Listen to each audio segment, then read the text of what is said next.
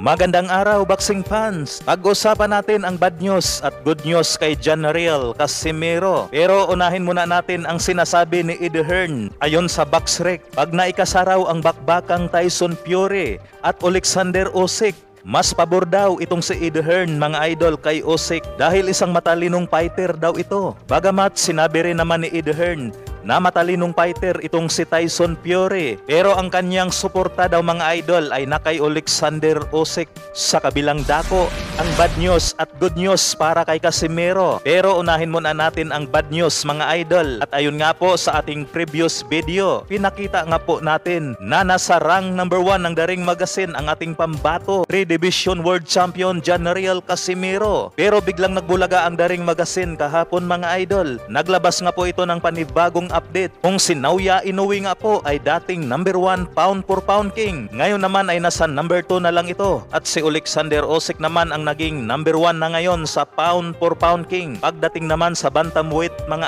idol, Noong isang araw ay rank number 1 si Casimiro at ito na nga po ngayon ang bad news mga idol. Nawala na ito sa top 10 ng Daring Magazine. Sa WBO naman ay nasa rank number 2 pa rin si Casimiro. Pero hindi natin alam sa mga susunod na update mga idol. Baka ibababa na rin itong si Casimiro. So yan nga po ang bad news para sa ating pambato mga idol. At syempre, meron din namang good news dahil habang naka-live kahapon si Bad Aratilis Boxing ay napakomment si Stephen Lonas at ayon dito, Basta ako maging masaya sa Pasko ko. The countdown begins. So ibig sabihin lamang nito mga idol, magkakaroon ng laban si Casimiro bago matapos ang taong 2022. Para naman sa mga iilang nagsasabi na wala raw promoter itong si Casimiro, iwala naman talaga mga idol. Pero meron itong manager na si Igis Climas. Marami namang boksingero na walang promoter katulad ni Canelo Alvarez, Terence Crawford,